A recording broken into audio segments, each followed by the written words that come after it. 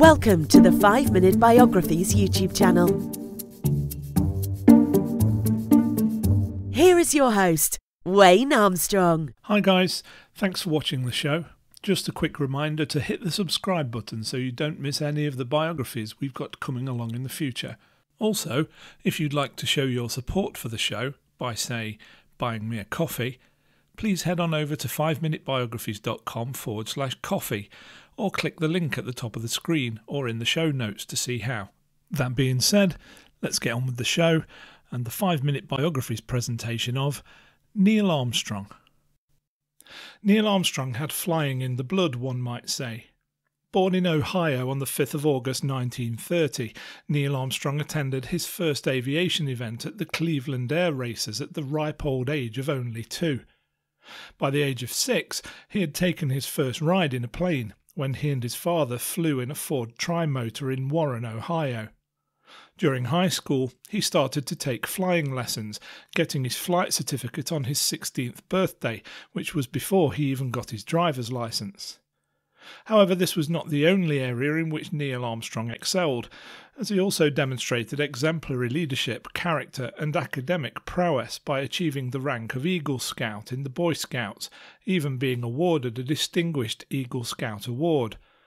He studied aeronautical engineering at Purdue, the university he had chosen to attend even though he had been accepted into MIT.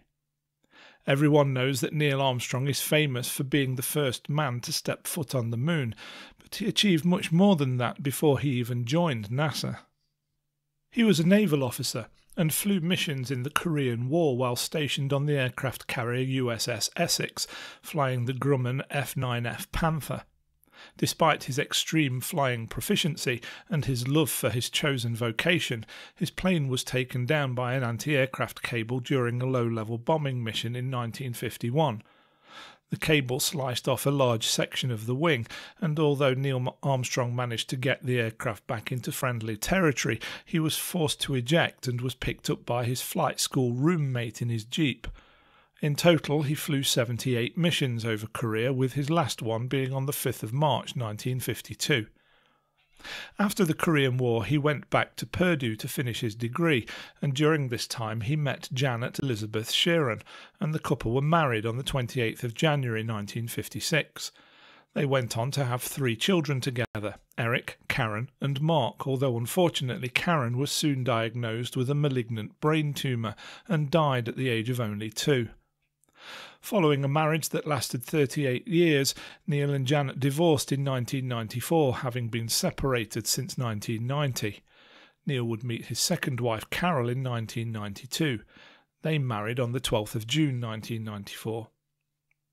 During his time at college, Neil Armstrong was never far away from aviation and became president of the Purdue Flying Club, Following his graduation, he became a test pilot with the National Advisory Committee for Aeronautics at Edwards Air Force Base, reporting for duty on the 11th of July 1955. During his time there, Armstrong piloted a number of different aircraft types, including the North American F 100 Super Sabre, the Lockheed F 104 Starfighter, the McDonnell Douglas F 4 Phantom II, and the Boeing B 29 Superfortress, among others. Having piloted multi engined propeller driven aircraft as well as fast jets, he also flew the rocket powered aircraft, the Bell X 1B, and the North American X 15, which he flew seven times, reaching speeds of up to 6,420 km per hour, or Mach 5.74.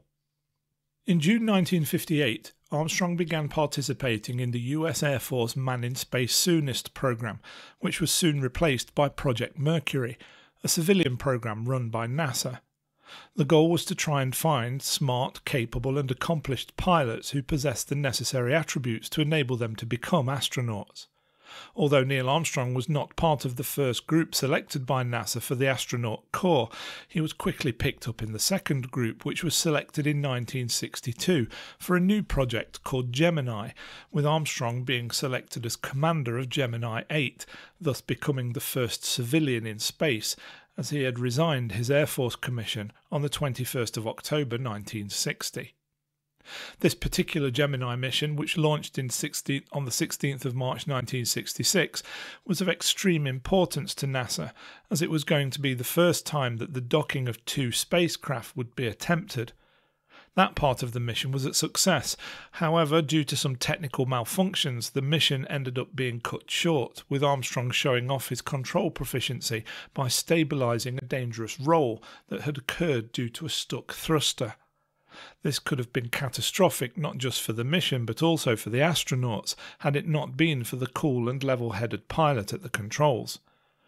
However, all of this was only leading up to that seminal moment on the 20th of July 1969 when Neil Armstrong and Buzz Aldrin landed with Apollo 11 on the lunar surface, becoming the first people ever to do so. This has often been considered the moment of the 20th century, even though that century had seen two titanic world wars, a massive Cold War, the invention of heavier than air flight, and the harnessing of nuclear energy.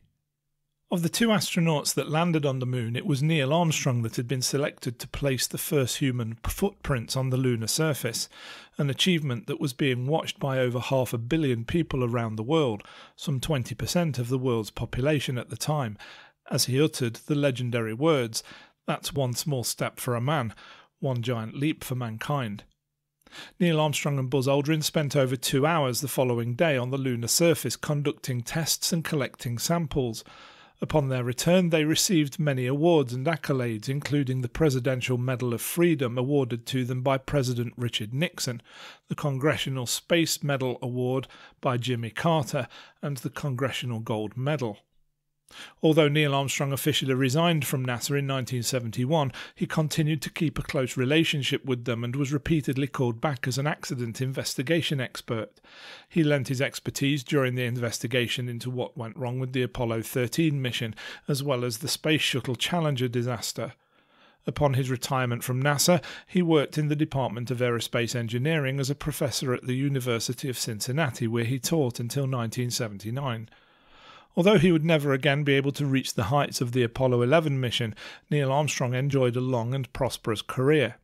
He died on the 25th of August 2012 following complications associated with coronary bypass surgery.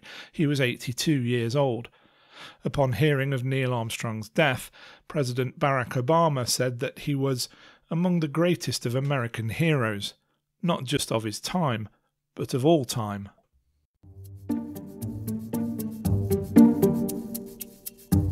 Hope you enjoyed that episode of 5 Minute Biographies. If you did, please hit the thumbs up and don't forget to subscribe for plenty more videos to come.